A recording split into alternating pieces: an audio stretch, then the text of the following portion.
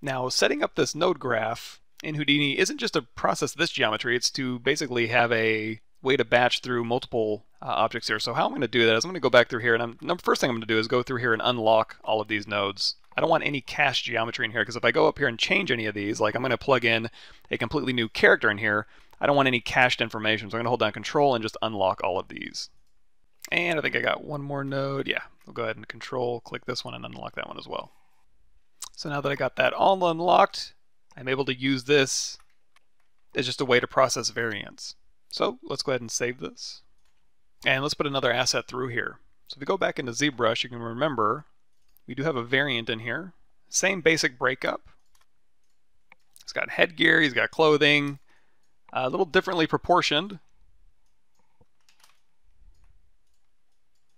But let's go ahead and process him through and see how Houdini does. So let's go back into Houdini here.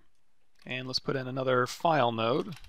You can use the original file node and just load in another file, but if you want to bring in them both, you can just grab one here. Let's go ahead and do farmer variant 01 high.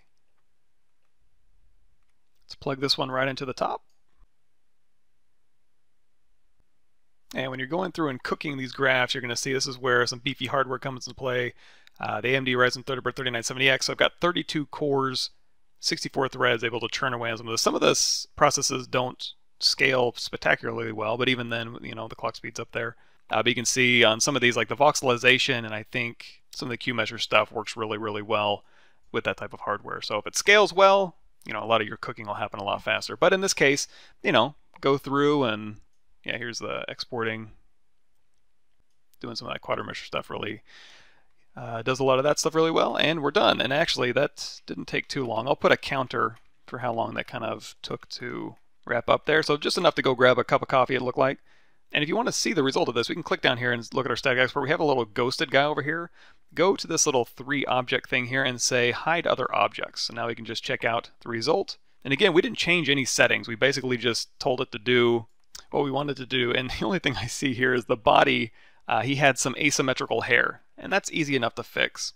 So now one thing, and that's kind of like a good way to stress test your graphs, is is it going to work for everything? And one thing it's not going to work for is when we did this Z-remesh around the body here, we had symmetry axis turned on, and honestly, I think I even sculpted the legs differently uh, when we did the high res. So what would be even safer and make this graph even more usable is we just go ahead and turn off symmetry axis for the body. On the old man, it wasn't so noticeable. On this guy, we were able to catch that. There we go. And we'll head right back down here. So there his hair is fixed. I think we're in good shape. So let's do another static fracture export, only this time we'll call it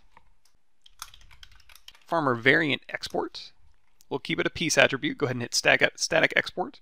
Let's go back up here to object. And here we've got our farmer variant export. So again, we'll go to file, export, FBX.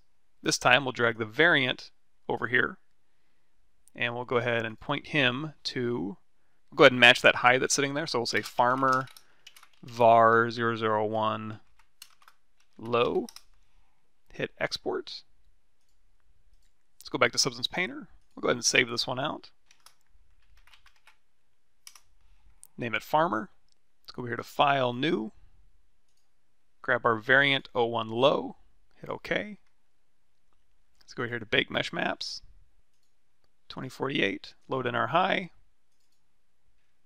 scroll down, say match by mesh name, ambient occlusion, mesh name, bake all texture sets. And there we go. This guy's all ready to be textured as well. Auto game resed, ready for texturing. And we've got an automated pipeline here that we can reuse for any number of assets.